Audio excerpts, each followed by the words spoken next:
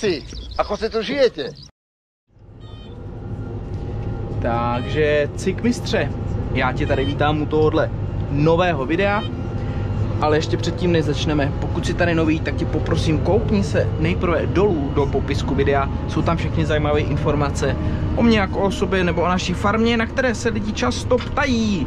Takže neváhej se tam nejprve podívat, něco se tam dozvíš a pokud nenalezneš odpověď na tvoji otázku, tak se určitě zeptej dolů do komentáře. Tak a to bylo jen tak pro ty nově příchozí, pro ty, kteří už jsou na našem kanálu dlouho nebo sledují naši tvorbu, společně jsou zapojení do tohoto kanálu, už tohle znají a už to nepotřebují vědět. Každopádně dneska jsem chtěl eh, natočit video ze setí řepky, řepky ozimé zakládání vlastně nového porostu na rok 2023. Už je to vlastně, před chvilkou jsme to řepku sklidili a už ji zase sejeme, jo, takže na tom, de facto je na tom pozemku opravdu skoro celý rok bez uh, pár dnů, což je na jednu stranu zajímavý, je to takový člověk, člověk jako když si řekne, že opravdu ta rostlina tam je celý rok, vegetuje, chrání tu půdu, ale zároveň z ní bere i živiny, tak uh, se to furt točí, člověk, člověk ani nedoseká a už se je, už se je další odru, nebo další, další sklizeň, jakoby, když to tak v uvozovkách vezmeme. Uh, máme tady naši tradiční soupravu při setí a tím je Fence 4 Vario a Horsch Pronto 6DC s dvěmi výsevními ústrojmi, takže zároveň sejeme jak osivo, tak i prášek. Dáváme 140 kg, dalo by se říci podpatu, uh, polského prášku, kterém je, který je zaměřen převážně na na vlastně, je to NPKčko s tím, že má hodně fosforu a draslíku. Eh, zároveň má v sobě nějakou síru a trochu, trochu dusíku.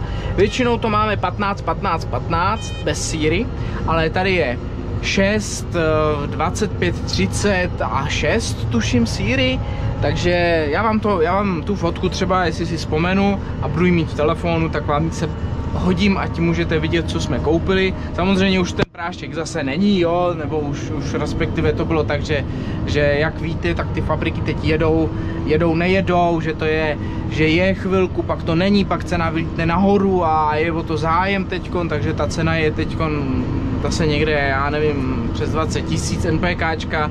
NPKčko letělo strašně nahoru. Zprvu to byl ledek, který vyletěl a, a držel se při nějakých 15 tisících bajvoko. Eh, NPKčko se tehdy ještě dalo sehnat docela zalevno, to jsme, to jsme nějak, nějak jako scháně sehnali a tohle už samozřejmě bylo za uh, ceny, které pravděpodobně teď se budou v průběhu několika let hold držet. Uh, všechny, všechny hnojiva, které se dají koupit, tak jsou, tak jsou na přelomu 20 tisíc, takže strašně, strašně drahý.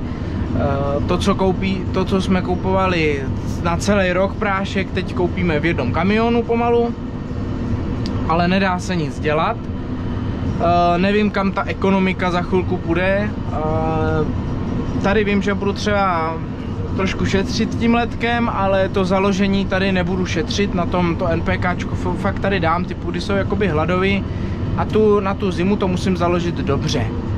Takže to, proč tady dávám, proč to NPKčko furt držím, nemusel bych ho samozřejmě dávat, ale myslím si, že tím ta rostlina docela, docela uh, strádá pak přes tu zimu, takže to NPKčko já opravdu nechávám na té hranici, že, že dávám 100, 130, 140 kg. Doma budu dávat e, stovku. Doma budu dávat stovku nebo 80, no spíš 90 do stovky, protože tam, na, tam ty půdy máme trošku vyhnojený, tady na ty, na ty horší pozemky dávám, eh, dávám tu, tu vyšší dávku, nebo tu standardní dávku, na kterou jsem zvyklý a proto doufám v to, že ta rostlina si na ten podzim toho vezme teď co nejvíc, že je to v půdě, takže, takže tam něco to tam udělá. Budeme doufat. Jinak samozřejmě sejeme opět stejnou odrůdu, kterou mícháme, uh, nebo takhle respektive sejeme, sejeme osiva od firmy Pioneer, bereme jenom Pioneery řepku a uh, aktuálně se pro letošní rok sejeme tři odrůdy. K nám do, vlastně do, do vesnice nebo na, tam na naše pozemky, kde se dostaneme s digestátem a už, už se lépe o ně staráme, nebo tak nějak už víme, tady to jsou půdy, které ještě poznáváme. A nejsou tak výnosný, tak u nás už je to daleko lepší. A tam už, eh, tam už jsme zase zkusili trošku vyšší odrůdu a tím je PT275 eh, tuším, protože já mám PT271 PX131 a ty se tuším míchají. A 275, pokud se nepletu, tak je vyšší odrůda, je taková zručnější a, a, a měla, by, měla by samozřejmě uh, být zručnější a údajně možná třeba víc na košatí, těžko říci, uvidíme. Chtěli jsme něco zkusit jako nějakou stabilní novinku, údajně je dobrá, takže teď sejeme vždycky jsme seli tyhle ty dvě, dvě odrůdy, které se míchají, to je PX a PT a teďkon, teďkon vlastně sejeme, sejeme tu míchanici, míchá se to forma 2 k 1, víc je tady ty ty trpasličí odrůdy, všechno to jsou hybridní, hybridní řepky, neděláme, neděláme líniové, uh, takže jsme s tím spokojení, funguje na tom funguje nám to. Uvidíme, jestli ty hybridní řepky budou fungovat i zde.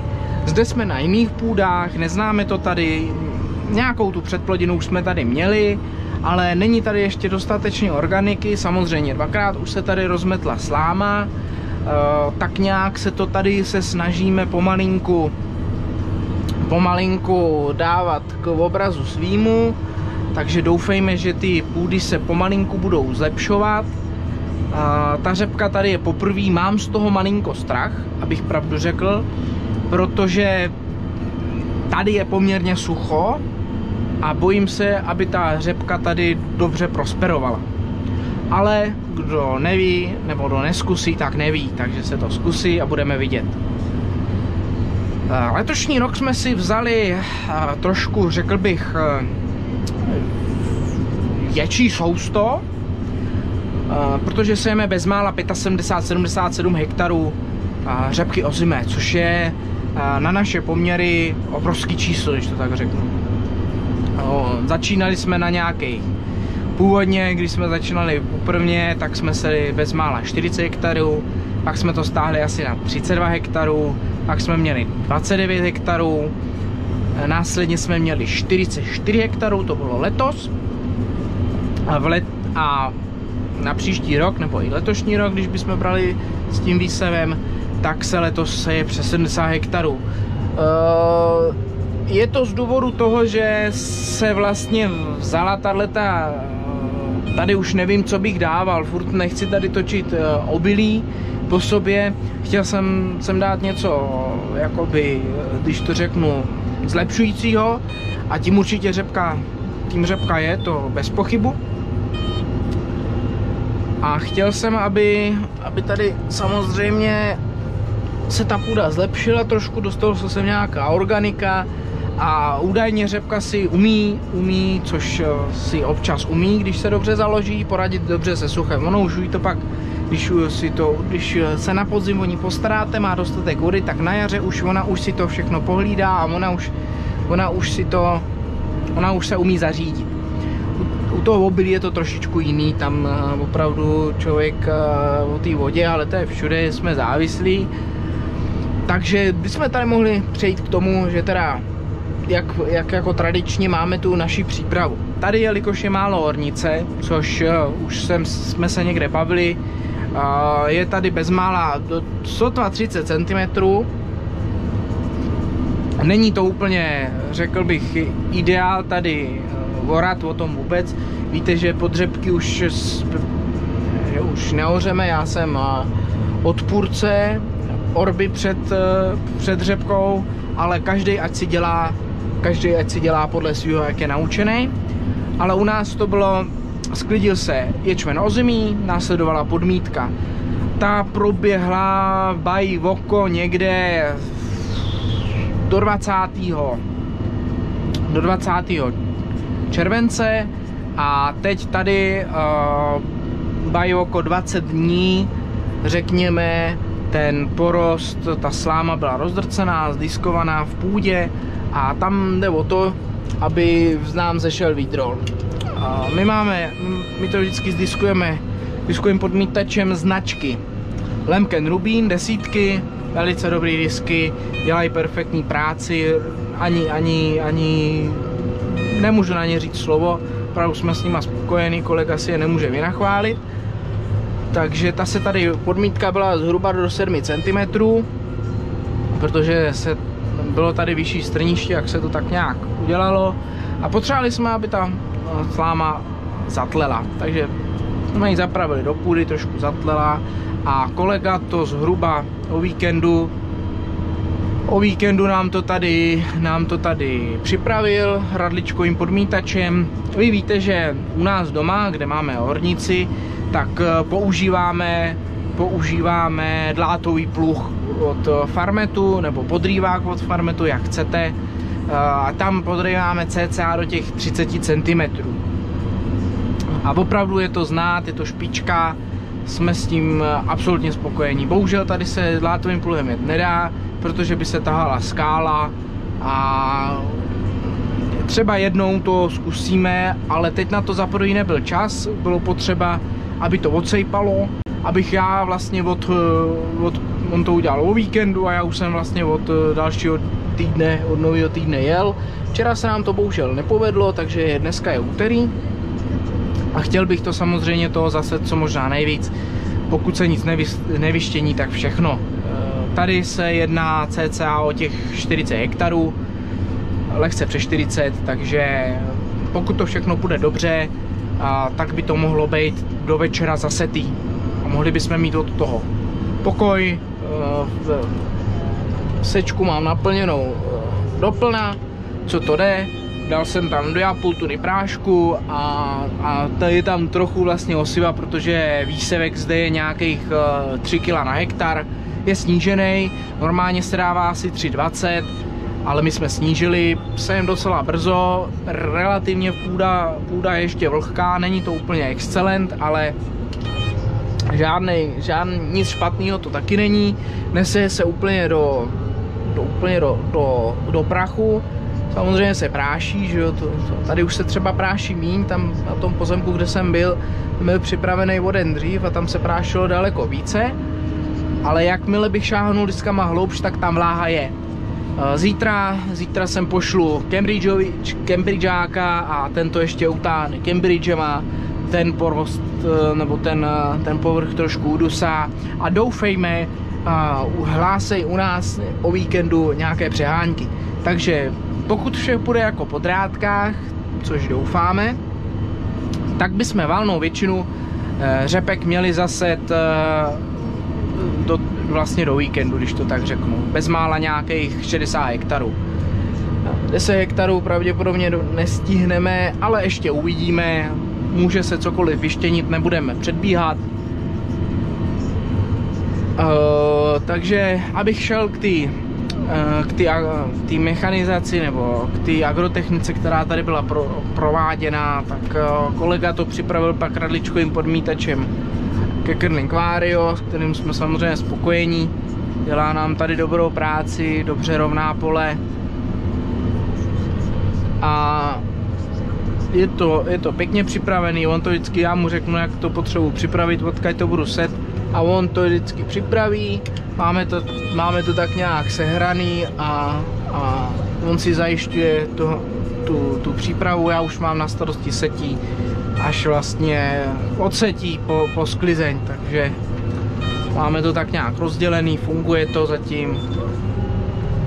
A výnosy vypadají, že jsou relativně stabilní, není to nikdy žádný průser. Tak, třeba jsem si tady něco nastavit, protože mě to hrozně nahlas pípalo, to mě štve, chci se slyšet trošku, tak pracovní rychlost 12,5 km za hodinu, disky trošku lížou v zemi cca těch do 10 cm, prokypřej ten ještě to celý zamíchají, prokypřej a neřekl bych, že to je nějaký zdatelný extrémní rozdíl, ale tam jde o to, že to vlastně ještě trošičku ten povrch, povrch rozrovnají. Uh, jsem na to zvědavý letos, protože tady v okolí uh, se dělá řepka poměrně intenzivně, ne jako u nás a je vidět, že, že tady mají na to jinou metodu třeba než my, tak uh, koukal jsem kolegové tady zaseli taky řepku a dokonce jí seli jakoby víc na široko, řekl bych přesnou sečkou, abych to upřesnil. Vůbec nevím, kdo tady byl, co, koho to je, nebo tak, ale tak nějak jako jsem na to zvědavý v porovnání, jak si ty porosty budou výst. Už jsem o tom hodně slyšel, že se to praktikuje eh, minimálně jakoby na těch 30, spíš 45 cm Eh, vůbec nevím, jak to funguje tady u nás, jak říkám, to skoro nikdo nedělá, ale rád se tady na to, až, až budu třeba tady stříkat a tak, tak rád budu pozorovat ten porost, jak se bude vyvíjet e, i v budoucnu a budu ho moc porovnat, protože to jsou skoro stejné parcely, de facto 20 metrů od sebe, 30. A to, rád to porovnám, tamhle někdo, někdo teda je zastánce Orby, každý ať si dělá podle svýho. Tam, tam vlastně jsem koukal, že to bylo zvoraný a připravený pravděpodobně kompaktorem, poměrně hezky a, a zase ty, zase ty širokořádkou sečkou nebo přesnou sečkou, jak budete chtít. A, už jsem koukal, že to mají i postříkané. Jediný, co se mě na tom nelíbilo, že ten celý horizont, kam, kam to semínko uložili, tak je totálně suchý. Jako to se mi na to moc nelíbilo, furt mi kam ty, kam my tady vlastně furt to relativně dáváme do ne úplně kyprý půdy, ale ještě relativně půdy, která má vláhu. A tím, tím vlastně tím si myslím, že to semínko, pokud by samozřejmě zapršelo, tak by ta naše řepka mohla být, eh, mohla být jakoby mít trošičku, trošičku napřed. Ale to všechno uvidíme. Já nevím teda, kdy oni to tam seli. Už to mají určitě z minulého týdne a řepka ještě venku není, takže čeká na vodu. My tady sejeme zhruba do 2,5 cm, dával jsem to tak nějak do těch 2-2,5 tak aby semínka nebyly na vrchu a zároveň to bylo v zemi. Eh, klidně bych se nebál jít i malinko hloubš kvůli té vlhkosti. Jo, že, ale tady můžete vidět, že třeba mokro relativně je po tom jednom přejezdu. Hnedka zítra řeknu, řeknu mu, jak, ať to jde sválet, ať kdyby náhodou nepřišlo nějaký déšť nebo nějaká přeháňka, trochu se bojím toho plaváku, ale tím, že tady máme rostlinné zbytky a je to, jak říkám, jenom spodmítaný, vůbec do toho není, vůbec to není jako nakypřený, a, jakoby, nevím, jak bych to řekl. Je to nakypřený tak, aby to bylo do hloubky a mohlo to brát vodu. Tak jsem na to zvědavý, ještě se mi nikdy nestalo, že by se mě řepka ulila. Ale nikdy mi tam teda nezapadl nějaký extrémní déšť. Vždycky napadl déšť, ale takový, jak se říká, zahradnický, takový ten ideální. A nebo jsem sel do, do, aj do mokra jsem sel řepku relativně. Ale uvidíme, necháme se překvapit.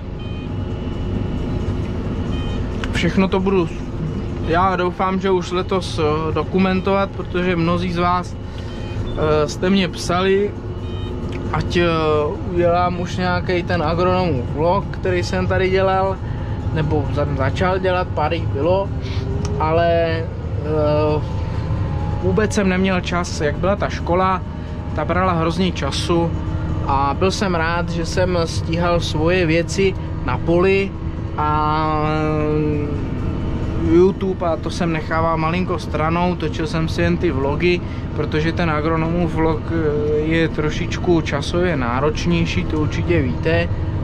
A hlavně, hlavně musím musím si to srovnat eh, všechno na papír, abych vám neříkal nějaký hlouposti. Teď musím jako si dohledat všechny údaje k tomu, abych eh, všechno řekl správně a abych se tam a chci to dělat trošičku profesionálně. No, profesionálně je blbý slovo, takový, protože tady to nikdy nebude profesionální, ale dělat to tak, aby to neby, abych neříkal blbosti, takhle. Aby to bylo pro všechny, aby když se na to koukne někdo, kdo je z oboru a o těch věcech nějak, nějak tak nějak ví a zná je mnohem líp jak já, já jsem začátečník, tak aby si neřekl, hele ten kluk tam říká nějaký blbosti, toho neposlouchejte. Chci to udělat tak, abych se za to nemusel stydět, když eh, tam, když, abych byl si jistý, že ty informace jsou správné. Tak, kolik už budeme mít zase to? No, něco už tady bude. Možná 4 hektary máme zase tým, ono to docela odsejpá, oni se ty hektary dělají rychle s tímhle. On tady, je, tady se nám to teda zúžuje, ale od minula jsme pozemech scelili, tady byl takový travní pás široký, ten jsme scelili, protože nám tam vadil, nerostlo tam nic, tak se scelil, stejně tak se scelili ještě tam se zvětšilo taky o malinko. Travní pásy kolem dokola se stále nechávají, jsou erozní, pokud eh, by samozřejmě přišel nějaký plavák, tak doufejme, že to chytne. Ale já doufám, že žádný plavák nepřijde, že přijde v obyčejný deštíček. Tímhle bych chtěl pozdravit Peťu, kamaráda, který eh, mi posílal fotky, kdy mu strašně tam během chvilinky přišel takový plavák a, a takový vody že až to nebylo pěkný, jsme na to společně koukali. Žádná sláva, nikomu to nezávidím, každopádně letošní rok byl poměrně, řekl bych, úspěšný, dobrý a takový, jak má být, na který, který, bych, který jsme tak nějak zvyklí. Uznal bych ho, přehánky byly, sklizeň probíhala, řekněme, velice dobře, a i ve sklizni byly nějaký přehánky, ale minimální. E, sice byly občas vydatný, ale byly a, a to tak nějak tomu všemu patří a myslím si, že, že mnoho, mnoho farmářů pro letošek, e, pro letošek si, si už jsem slyšel, že někde to bylo blbý, ale někde to zase bylo výborný, takže to je vždycky tak. Někdy se něco povede, jak říkám, proto je dobrý pěstovat víc těch plodin. Vždycky nějakou chytnete, že třeba je výborná, některá je průměrná, některá je horší, to tak, to tak v zemědělství občas bývá. Takže uvidíme, co všechno se poštěstí dnes zaset. Vůbec nevím, co bych vám ještě k té agro, agro, agrotechnice řekl a jak ten rok bude nadále pokračovat. Samozřejmě už mám nějaký předběžný přípravky, které budu používat sepsaný e, s vlastně s poradcem, který nám radí, tak e, jsme si k tomu sedli, já už mám něco, co tam chci aplikovat. On má nějaký takový ty osvědčené věci, které tak nějak u nás fungují, tak, tak jsem rád, že mi někdo pomáhá a dozoruje mě, než, než to člověk, radši si nechám poradit, než, než se to všechno naučím, protože člověk se učí celý život a každý rok není stejný a já přece jen ty přípravky moc v hlavě nemám, já tak nějak vím, umím, umím to všechno zaset, zorganizovat tak nějak a a postříkat a tak, ale přece jenom s těma, s tou chemí takový zkušenosti ještě nemám. Jinak eh, seju tady už všechno, všechno se seje na navigaci, bez znamenáků. Eh, možná se divíte, že to neseju od jedné strany, zkoušel jsem takový experiment. Eh, normálně za normálních okolností si chytnu vždycky tu nejrovnější stranu, tu si vyjezdím a tak to se jedním směrem. Jenomže teď tady, jak jsou zrušený ty pásy, tak je to takový, to pole je takový paskvil, já jsem si ho tady připravil na papír, takže je to, nevím, jestli to uvidíte, jedná se o tuhle tu parcelu, tady to je stráň jakoby větší, mírný svah, tam je se ta etylotráva, ještě budeme se tuhle parcelu, tam má něco kolem bezmála 5,5 hektaru.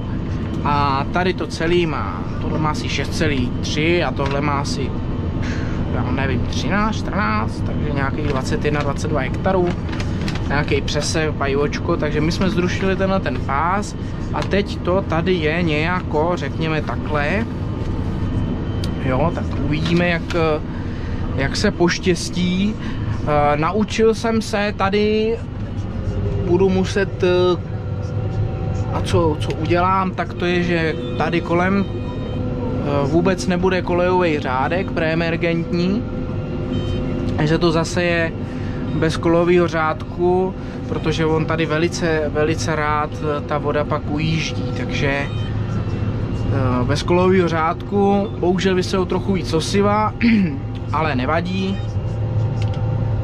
Ale jediný, jedinou nevýhodu to má, že se vyse malinko víc osiva a když se následně ty, ty plodiny se pak ujezdí, nebo ta, ta rostlinka, ale uvidíme, jak to bude fungovat.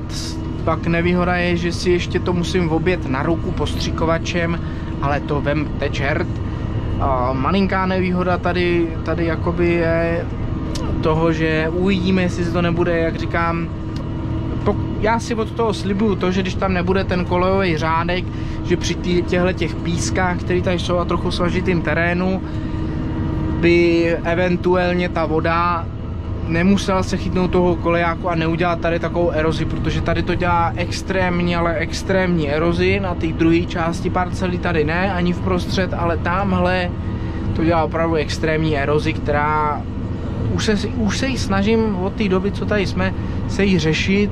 Letos byla ta eroze největší, a byl jsem z toho takový fakt jako naštvaný, protože ať jsem, ať jsem o ní věděl, že ta eroze bude, tak jsem bohužel nedokázal tu erozi nikterak ovlivnit. Takže zkusíme to tímhle tím stylem,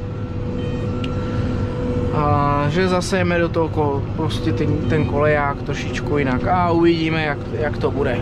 Uvidíme. Jsem z toho, jsem z toho jakoby, mám nějaký, co si od toho slibuju, ale neočekávám zázraky. Kolik už dneska mám zase těch krásných 20 hektarů. Za nějaký 3 hodinky. Ani nevím, kolik se se, kolik se, jak, jak rychle mám tady počítadlo. Tak se seje, seje se, tak mám 19, jasný, a koukneme se na nějakou tu spotřebičku.